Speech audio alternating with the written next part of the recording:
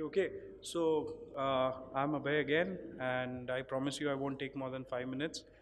Um, just so that we can tune our discussion a little, how many of you in the room are from the solar industry supplying components or, uh, you know, part of the BOP? Okay, how many EPC integrators? Okay, and how many developers or asset owners? One. Okay, great. So then um, I'm from the O&M and analytics side of uh, Mahindra Susten. Just to give you a quick insight, we are a part of the flagship Mahindra Group. Um, we have five main divisions. Um, and analytics is one of them, which is what I would like to show something about. Uh, typically, like Mr. Vaman just mentioned, building a good plant and designing it well is only half the job done. It's really important for you to ensure that the operations and maintenance of the plant is up to the mark to ensure two things. One, which is maximize your return or generation. The second one, maximize uptime. So these are the two key levers. Um, coming to the portfolio that we have, today we are operating about 1.5 gigawatt of assets across India, the smallest one being 5 kilowatt and the largest one being 120 megawatt across 104 locations. But I think what I would like to talk about is one, the best practices that can be used, uh, examples being cluster based uh, spares so that you can optimize the number of spares you're keeping, doing trend analysis, soiling analysis, doing a plant health checkup, ensuring there is condition based maintenance and using real time monitoring and data analytics to your advantage. Uh, we are proud of having an uptime consistently of uh, upwards of 99.7% for the last five years.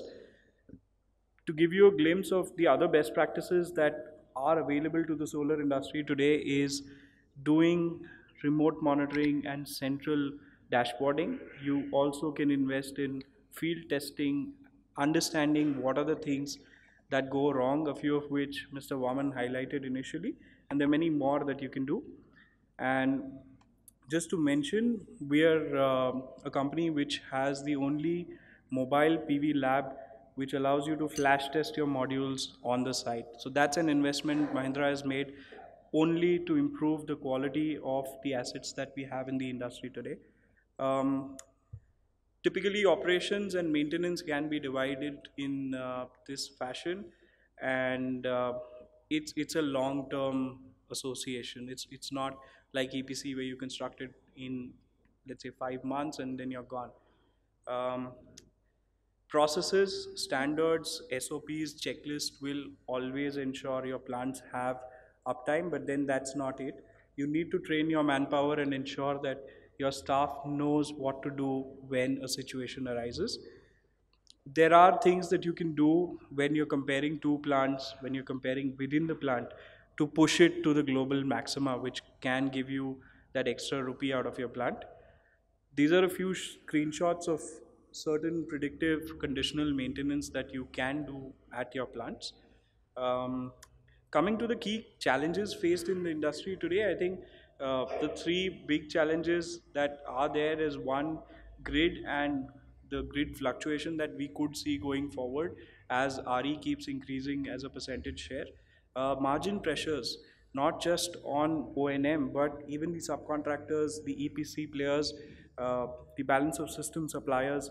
So across the industry, there's a lot of margin pressure which could lead to cutting corners and quality issues, which at the end of the day will not allow you to deliver the kind of ROI that you had probably imagined when you built the plant.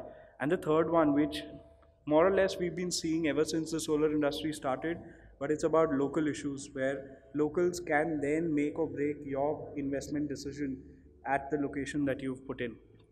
Just an approximate breakup of the O&M cost the largest component of O&M is manpower. So whether it's for security, whether it's for technicians or the engineers who maintain the plant, or even the laborers who come down and clean your plant. So approximately 60 to 70% of your O&M cost would be your manpower cost.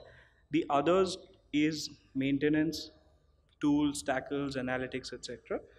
Um, this is a quick shot of how complicated even a small 20 megawatt plant could be. I've retained this slide from three, four years ago. And at that time, this used to be like a major plant. 20 megawatts used to be like, wow, Vaman mentioned during his introduction IIT Bombay. At that time, uh, Amit sir was a part of that team which did it. And I know at that time that one megawatt was a big plant. Need for remote monitoring, I think uh, four simple points for the reporting, for understanding downtime, to identify underperformance, and for asset management that Dhananjay sir does. Uh, coming to the new age monitoring tools, there are a lot of uh, alternatives that are available today. A few screenshots just to highlight two or three things. One, your dashboard allows you to see hundreds of plants in one go. Second, it can understand and do much more than what humans can do sitting and looking at a screen. And three, it allows you to do more than just monitoring and reporting. It allows you to take decisions today. Um, this is something that is central to us.